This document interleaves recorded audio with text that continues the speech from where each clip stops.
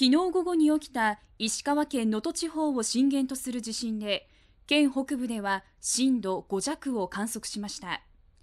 北陸新幹線は一部区間の運休が続いています。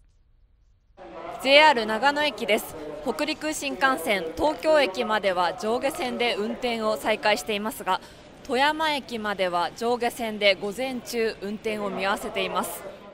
飯山からも新幹線がもう出てあのないのでこっち今送ってきてもらった冬休みを使って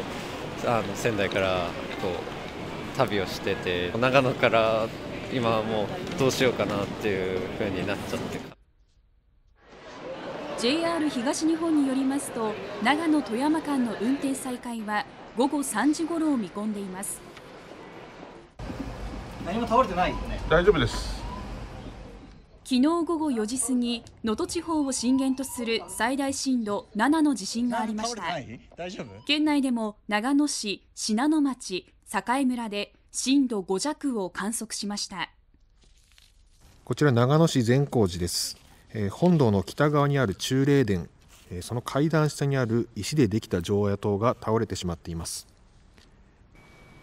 地震発生後職員が巡回したところ高さ3メートルほどの常夜灯1基が倒壊していたということです。えー地震です地震です。すごく揺れてます。信号機がすごく揺れています、えー大きな揺れです。